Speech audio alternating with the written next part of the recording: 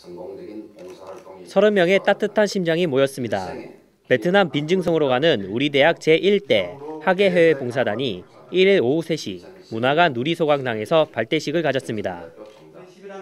4일부터 16일까지 약 2주간 진행될 이번 해외 봉사는 우리 대학 30명의 학생들이 베트남 빈증성 일대의 고아원, 양로원 봉사와 사랑의 집 짓기 등으로 진행될 예정입니다. 이날 발대식에는 이정석 학생 대표의 힘찬 선서 선창으로 활기찬 시작을 알렸으며 김희복 부총장이 김대성 총장을 대신해 학생들에게 따뜻한 격려사를 전했습니다.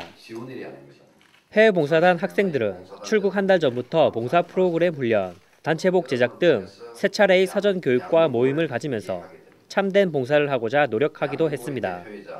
아, 베트남 해외 봉사를 가게 돼서 너무 기쁘고요.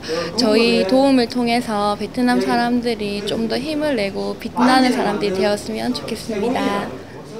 특히 이번 해외 봉사는 우리 대학이 처음으로 주최한 해외 봉사라 더욱 뜻깊은 봉사가 될 것으로 보입니다. 디지털 경성 김영민입니다.